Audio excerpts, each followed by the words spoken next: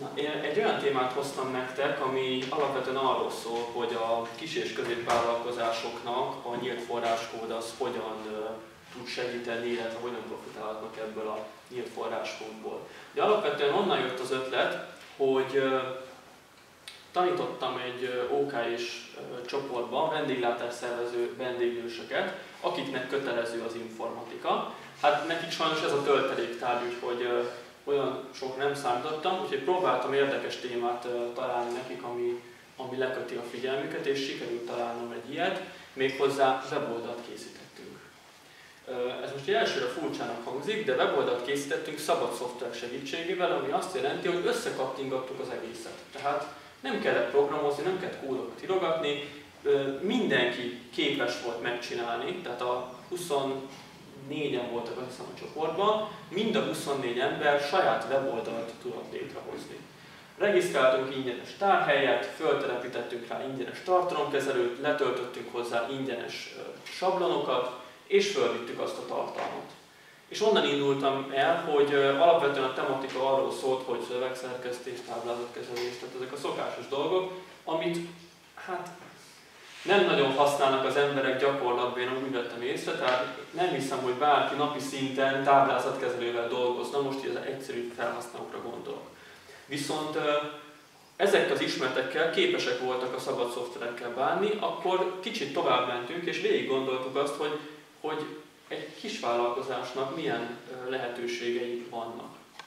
Ugye alapvetően nekem van egy olyan elvem, hogy a szoftvert valaki vagy vásárolja meg, vagy használja a szabad szoftvert. Tehát az, hogy, hogy egy fizetős szoftvert letöltünk és fizetés nélkül használunk, az számomra elfogadhatatlan. Ha neki erre szüksége van, akkor vegye meg, kész. Hát most szüksége van rá, fizessen érte. Hogyha nem akar érte fizetni, akkor nem az a helyes módszer, hogy hogy letöltés használ illegálisan, hanem az, hogy keres valamilyen alternatívát, ami megfelel az ő igényeinek. Na mi az, ami előfordult a kis és középvállalkozásoknál? Ugye a legelső dolog a különböző dokumentumok írása. Egy LibreOffice-szal szerintem mindent meg lehet csinálni. Tehát nem hiszem, hogy a, a kis és középvállalkozásokban előfordulhatna olyan dokumentum szerkesztési feladat, amire a LibreOffice ne lenne alkalmas. Most itt Mm, szerintem arra már nem nagyon érdemes gondolni, hogy csak és kizárólag egy formátumot fogad el valaki, ugyanis most már a kereskedelmi Office is képes megnyitni az ODT-t. Tehát úgy tudom a 2007 Service Pack nem tudom mennyitől kezdve már tudja olvasni. Jó, 2016-ot írunk. Tehát aki 2007-esnél régebbi fizetős Office-t használ, azzal én nem tudok mit kezdeni. Tehát ő így járt számomra. Nem hiszem, hogy ez jellemző. Tehát vagy újabbat használ, vagy pedig szintén LibreOffice, tehát a kompatibilitás az meg van oldva. Ugye egyszerű levelezések, hivatalos levelek elkészítése, erre tökéletesen alkalmas LibreOffice, teljesen felesleges föltelepíteni emiatt egy, egy fizetős Office. A másik hasznos funkciója ennek a LibreOffice-nak a táblázatkezelő, amivel ilyen alapvető számításokat, egyszerű műveleteket el lehet végezni. Szintén a legtöbb művelet megoldható a négy alapműveletekkel. Tehát összeadás, kivonás, szorzás, osztás. Aki ezt tudja használni és képleteket tud használni ezekkel, tényleg függvények nélkül, tehát tisztán ezekkel a képletekkel rengeteg mindent meg tud csinálni. Egy üzleti tervet, egy valamilyen döntésnek a, a tehát egy döntés támogató szoftvert is lehet ez a LibreOffice, hogy ki tudja számolni azt, hogy megéri vagy sem. Pozitív vagy negatív az egyenleg. Ilyen egyszerű. És ez tényleg csak összeadás, kivonás, szorlás, osztás kell hozzá. Statisztikai feladatokat is el lehet vele végezni, tehát nem kell ezért bonyolult szoftvereket megvásárolni, illetve nem kell a informatikus után rohanni, ki kell próbálni, le kell ülni, el kell olvasni a súgót, és meg lehet csinálni LibreOffice-szal is. Akkor ugye a kötelező adóbevallás, illetve a, a, ennek minden járulékos vonzata.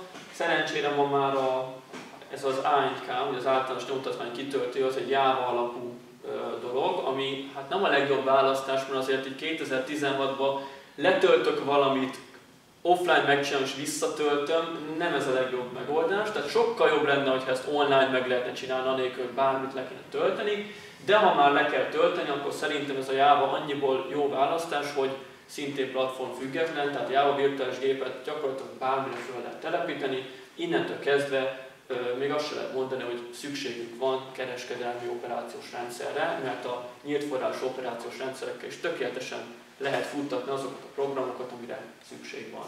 Ugye a nyomtatványkitöltőt az biztos, hogy minden vállalkozásnak használnia kell, vagy kellene. Nagyon sok ismerősömtől hallottam, hogy hát igen, a könyvelő elszámolt valamit, most be kell fizetnem emiatt 200 ezer büntetést. Igen, de lehet, hogy olyan egyszerű dologról van szó, amit ő is meg tudott volna csinálni. Tehát nekem például nincs könyvelő, még magamnak megcsinálom. Van könyvelő ismerősöm, megkérdezem tőle, hogy figyelj, szerinted ez így jó? Azt mondja, hogy jó, jó, hát akkor megcsinálom. Tehát nem őt kérem meg, hogy csinálja meg, csak kikérem a tanácsát, vagy mondjuk megkérdezem, hogy milyen nyomtatványokat kell beadni. És akkor ő megmondja, hogy tölts ki ezt és ezt és ezt.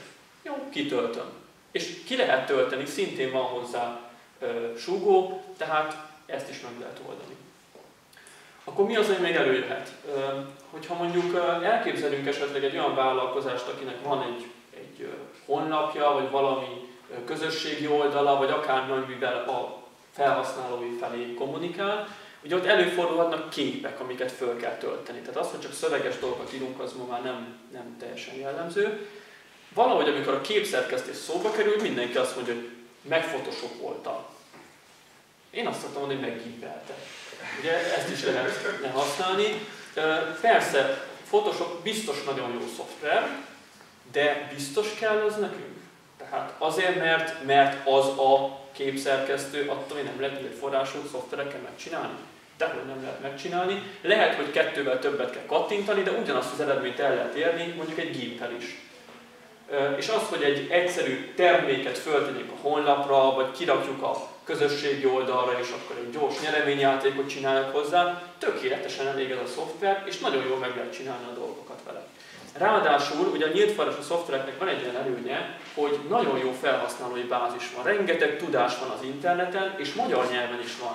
Tehát ha én most rákeresek arra, hogy hogyan kell a Gimpel például egy embert levenni a képről, mert annak nem kéne ott lennie, akkor rengeteg oldal találnék, ahol ezt bemutatják, hogy hogyan kell levenni onnan azt az embert. Persze valószínűleg a másikkal is meg lehet csinálni, de miért ne használjuk a szabad szoftvert, hogyha ha tényleg egy kattintással telepíthető akkor hát a hangszerkesztés az, az már nem kicsit ritkább dolog, tehát azt már nem szokták annyira használni ezek a kis és középvállalkozások, ha csak nem valamilyen speciális uh, igénye van. Ugye most itt próbálok ilyen általános dolgokról beszélni, ami nem kifejezetten mondjuk egy hangvágó KFT-nek a, a alkalmazáson volt, ugye vagy használnak nagyon komoly kereskedelmi szoftvereket, vagy pedig szintén megtanulják a nyílt forrású dolgokat hanem próbálok ilyen általánosabb dolgokat összeszedni. Akkor ugye ami még előfordulhat a levelezés. Hát a levelezéshez nagyon sokan használnak webes klienseket. Tehát föllép a valamilyen oldalra, ott megírja a levelét és elküld, és nem kell hozzá semmit se telepíteni. Ami ö, céges viszonylatban annyira már nem biztos, hogy jó dolog, mert ö, például, hogyha egy ingyenes ö, e-mail cím végződéssel megy ki a levél, akkor az nem annyira komoly, mint hogyha a céges e-mailről küldi. Persze a céges e-mailt is be lehet kötni a webes kliensbe, de lehet használni azt a klienst. Például egy Thunderbird használatával rengeteg mindent meg lehet csinálni, amit egy, egy webes kliens nem tud. Például mondjuk sablonok kezelése. Tehát, hogyha az ügyfelekkel kell kommunikálni, és már 20 gyára írom be ugyanazt a levelet, akkor lehet, hogy érdemes egy sablont készíteni, és a asztali levelező programban egy mozdulattal berántom a sablont, egy-két dolgot átírok benne, és már mehet is ki a hivatalos levél, nem kell máshonnan másolgatnom, hogy beilleszgetnem. Lehet több fiókot kezelni.